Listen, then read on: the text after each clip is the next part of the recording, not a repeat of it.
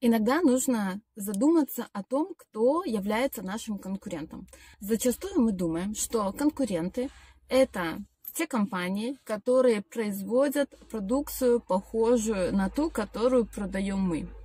И они являются нашими конкурентами. Но это так и есть. Но зачастую бывает, что мы ошибаемся.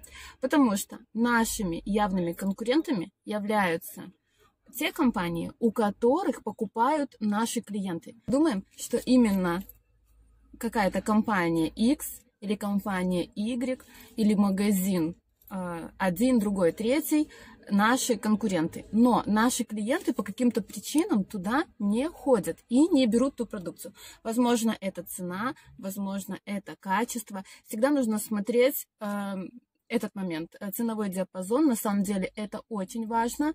А, нужно смотреть товары э, у конкурентов, которые похожи на наши, но они немножко по цене выше, также э, такие же примерно, либо чуть-чуть ниже. Э, сильно дорогие товары э, не подходят, потому что с ними мы не конкурируем.